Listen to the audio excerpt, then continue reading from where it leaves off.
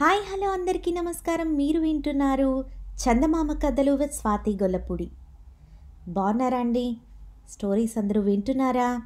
I know I know మీరందరూ బాగా వింటున్నారని మీ comments రూపంలో నాకు తెలియచేస్తున్నందుకు సంతోషం అండి. చాలా చాలా చాలా సంతోషం.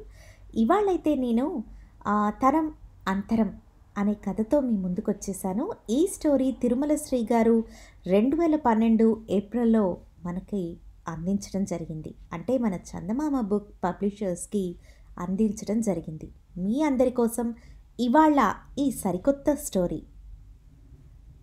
తరం అంతరం.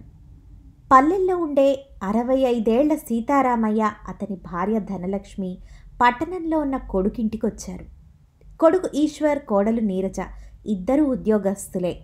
వారి పిల్లలు అభిషేక్ డిగ్రీ అనిత పదవ తరగతి చదువుతూ ఉన్నారు. మనవల కోసమని అరిసెలు సున్నుండలు కజ్జికాయలు జంతికలు వండి మరీ తీసుకొచ్చింది ధనలక్ష్మి గారు. పిల్లల్ని పిలిచి వాటిని పెట్టింది కూడా. అనిత మొహమాటానికి తిన్న అభిషేక్ మాత్రం వాటిని రుచి చూడకుండానే వద్దు అనేశాడు. మీకోసమే లేని ఓపిక తెచ్చుకొని మరి చేశాన్రా.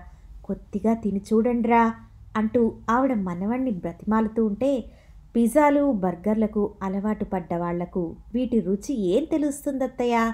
మేం వీటిని చూసి చాన్నాళ్ళే అయింది. నేను మీ అబ్బాయి తింటాం అంది కోడలు నవ్వుతూ.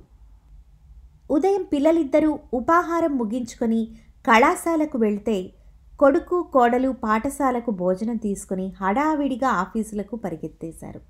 చీకటి పడ్డా కానీ ఇంటికి తిరిగిరారు రోజంతా ఇంట్లో సీతారామయ్య ధనలక్ష్మి ఒంటరిగా ఉండేవారు.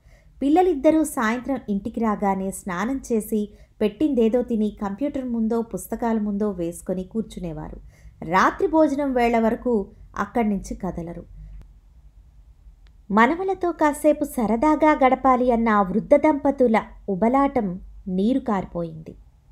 ఓసారి కోడలితో ఇరవై నాలుగు గంటలు చదువే అయితే ఆ పిల్లలు ఇక ఆడుకునేదెప్పుడ్రా?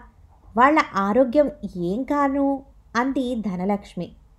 కోడలు నవ్వి ఇది పోటీ ప్రపంచం అత్తయ్యా. జీవితంలో నిలదొక్కుకోవాలి అంటే ఇప్పటి నుంచే కష్టపడక తప్పదు మరి అంది. పిల్లలకు రెండు రోజులు వరుసగా సెలవులు రావటంతో అత్తగారిని మావగారిని బయట తిప్పి తీసుకురమ్మని వాళ్ళకి పునమాయించింది నీరజ. తాతయ్యను నానమ్మను తీసుకొని సాయంత్రం tank bund Lumbini park necklace రోడ్లో జరుగుతున్న ప్రదర్శనలను చూపించారు అన్నా చెల్లెళ్ళు ఉత్సాహంగా. తిరిగి వస్తూ ఉంటే దారిలో గొడవ జరుగుతూ ఉండడం కనిపించింది వారికి. రౌడీల్లా ఉన్న ఓ వ్యక్తి ఓ పెద్దాయనను కొడుతూ ఉన్నాడు. అక్కడ చేరిన వారిని విచారిస్తే రౌడీ ఆ పెద్దాయన గురించి అసభ్యంగా వ్యాఖ్యానించాడు అని పెద్దాయన అభ్యంతరం చెప్తే ఎదురు కొడుతున్నాడు అని తెలిసింది. వాడికి నేను బుద్ధి చెప్పొస్తాను అంటూ అభిషేక్ కోపంగా వెళ్ళబోతే మనకెందుకురా అంటూ మనవణ్ణి ఆపబోయింది ధనలక్ష్మి. అన్నయ్యని వెళ్ళని నానమ్మ అంది అనిత. ఆ రౌడీ చిన్నవాడైనా తన మనవని ఏం చిత్తగొడతాడో అని ఆ వృద్ధ దంపతులు ఆందోళన చెందుతూ ఉన్నారు. అభిషేక్ వెళ్ళి వాణ్ణి నాలుగు తన్నడంతో రౌడీ కాళ్ళకు బుద్ధి చెప్పాడు. తిరిగి వచ్చిన మనవడి వంక ధనలక్ష్మి ఆశ్చర్యంగా చూస్తూ ఉంటే దుష్టులకు దూరంగా ఉండాలిరా అభి వాడు నిన్నేమైనా చేసుంటే ఇంకెప్పుడు గొడవల్లోకి తలదూర్చకు అన్నాడు సీతారామయ్య. అభిషేక్ నవ్వి దుష్టులకు దూరంగా ఉండాలన్నది మీ కాలం ఆలోచన తాతయ్య. మా యువతరం సిద్ధాంతం ఏంటో తెలుసా? దుష్టులకు బుద్ధి చెప్పడం. అన్నాడు సగర్వంగా. అన్నకు వత్తాసుగా నవ్వుతూ బొటనవేలు చూపించింది అనిత. అవురా ఈ కాలపు పిల్లలు ఎంత ఎదిగిపోయారు అనుకుంటూ ఆశ్చర్యం ఆనందాలతో ముఖాలు చూసుకున్నారు ఆ వృద్ధ దంపతులు. ఇదండి ఇవాల్టి స్టోరీ. చూశారు కదా తరం అంతరం.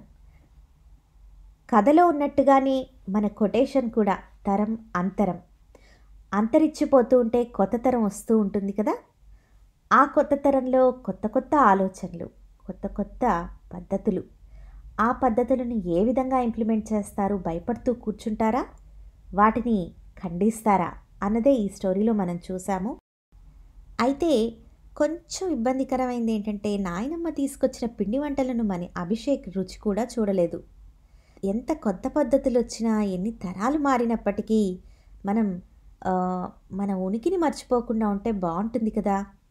స్పెషలీ మన పిండి వంటలు మన పద్ధతులు మన సంప్రదాయాలు. దుష్టులకు బుద్ధి చెప్పడం నేటి తరం యొక్క బాధ్యత అని చెప్పి సగర్వంగా చెప్పుకున్నాడు మన అభిషేక్.